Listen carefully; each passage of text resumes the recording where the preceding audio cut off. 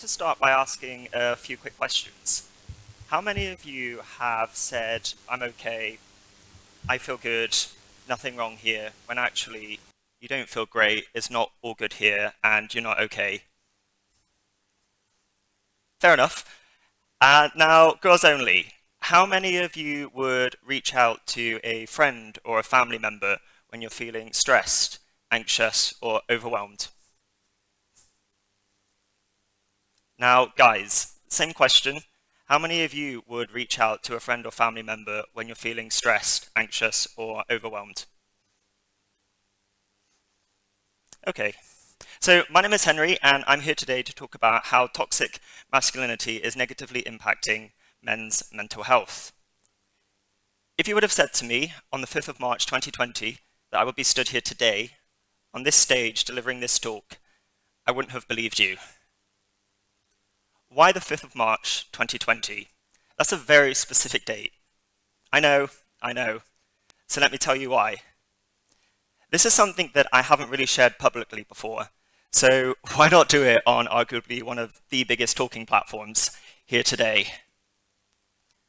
I woke up on this day, the 5th of March 2020, feeling stressed, anxious, overwhelmed, and initially I was physically unable to get up out of bed.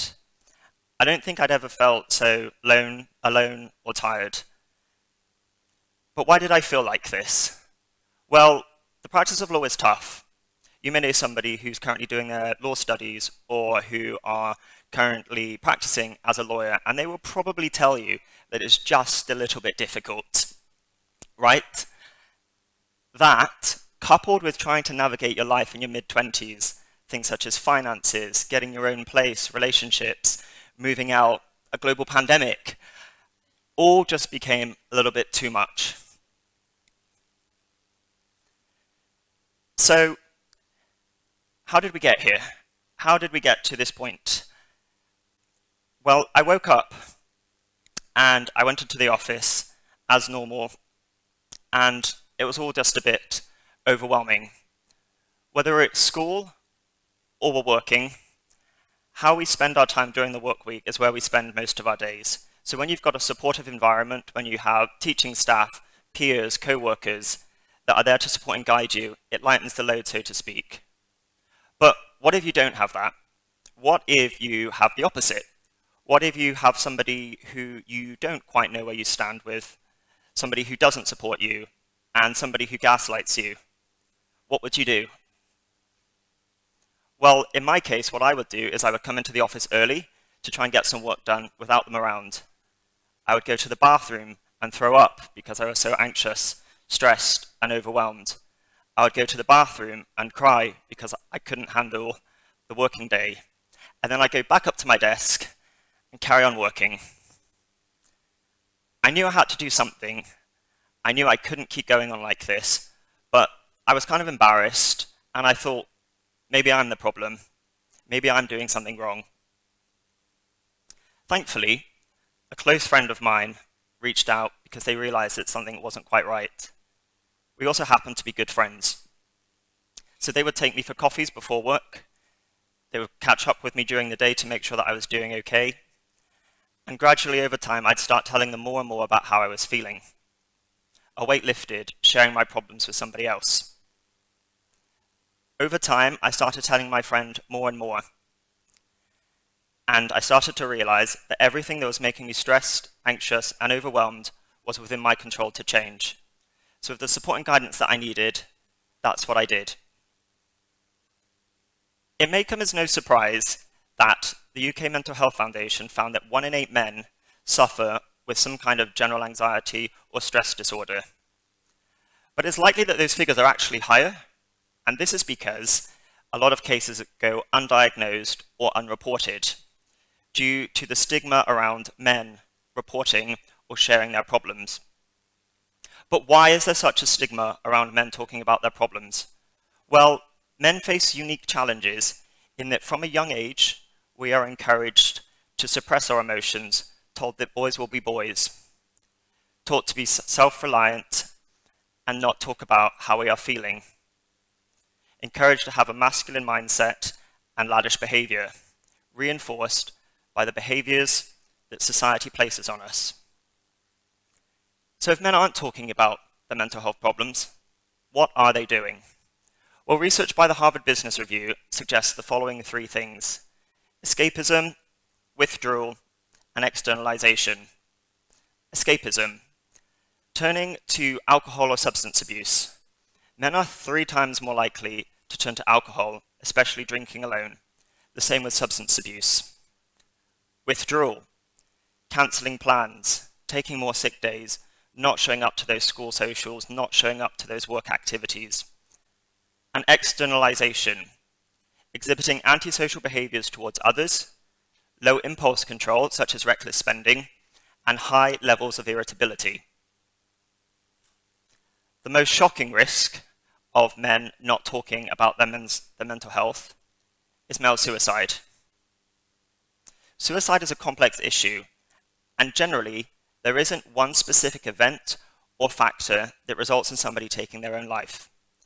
It's usually a combination of a number of factors, such as personal, community, or societal issues. Research by the UK government found that men who kill themselves are most likely from a lower socioeconomic group and are below the age of 50. So it is clear that men's mental health and male suicide are critical issues that affect all of us. But what can we do? What can we as a collective do to support men in their mental health journey? Well, I think there are three key ways that we can support them. The first is recognizing that it starts with a conversation. The second are small lifestyle changes that we can all make to help improve our lives. And the final one is recognizing that men's mental well-being is a societal issue and not just an issue for men. So let's start with the first one. It starts with a conversation. One of the most common themes amongst men who are struggling with their mental health is how lonely and isolated they felt from the people, places, and networks around them. So we need to create a space where men feel comfortable and encouraged to talk about how they, how they are feeling. How can we do this? Well, if you have a mate or a family member who you think they've been a bit quiet, I've not heard from them in a while, why do they keep cancelling the plans? Well, reach out to them, send them a text message, give them a phone call, FaceTime them. It could make all the difference. Small lifestyle changes. We can all make these small lifestyle changes which will have a huge positive impact in our lives. Many men who have gone through periods of crisis and built themselves back up have tried these. They have helped me, and I hope that they may help you too. These include cutting down on alcohol. Whilst tempting, the depressive elements of alcohol actually make us feel worse. Physical activity. When we move, our bodies release positive endorphins. Many men, again, who have gone through periods of crisis and were building themselves back up, heavily invested in activities that made them feel good, allowed them to support others, and created strong networks. So if you can, go for that brisk walk because it can make all the difference. It's a nice, easy way to start. If a mate seems off, send them a message, see if they want to go to the gym, for a walk, for a run, to grab a coffee. And finally, let's recognize that we also need to stay social. And I don't mean on social media. Physically being around other people can make us feel good, and it can reduce feelings of loneliness. And the last way that I think that we can positively push this conversation forward is by recognizing that men's mental health and men's well-being is a issue for all of us, not just for men. We all have a role to play in pushing this agenda forwards. So how can we do that? Well, we can start by challenging gender stereotypes. We can let men know that there are resources available to them to talk about, to share their problems, and we can also develop specific programs for men to help them that cover the unique challenges that men face.